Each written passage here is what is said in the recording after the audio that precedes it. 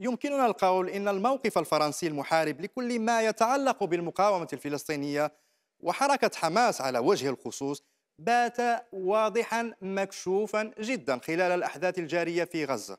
فكما نعلم حظرت حكومة فرنسا حكومة باريس مؤخرا جميع المظاهرات المؤيدة للفلسطينيين بزعم أنها قد تخل بالنظام العام في البلاد. لكن أن يصل الأمر بالسلطات الفرنسية إلى إغلاق مطعم بسبب عطل في لافتته المضيئة وسقوط حرف واحد ليتحول من شماس إلى حماس. فهذا أمر عجيب.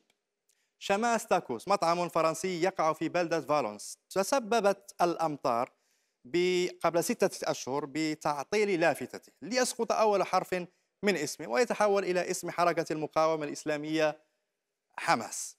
لكن قبل أيام فقط قدم سكان المنطقة المحيطة بالمطعم شكوى للشرطة بخصوص الاسم الذي تحمله اللافتة الشرطة صارعت ما صدقتش خبر قدمت إلى المطعم هددت بإغلاقه.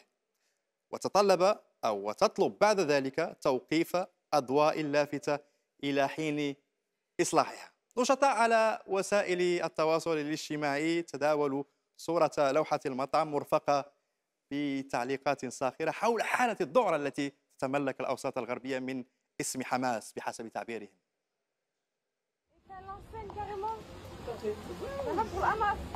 Ah, mais non, il faut pas faire un lien comme ça. Le gérant de la Ouais, bien sûr, il n'y a aucun souci. Non, Canal, c'est pas fait exprès, vous savez bien. C'est ce soir, demain, vous serez administratif. Comment je peux éteindre l'enceinte? Parce qu'en en fait, apparemment, le but le sait, du coup, il dérange apparemment. Ils ont fait bien avec ce qui se passe actuellement en Palestine, euh, en Israël. Demain, c'est sûr et certain, vous verrez pas ça. Vous pouvez le faire ou pas? Moi, si j'ai bien compris, fermeture administrative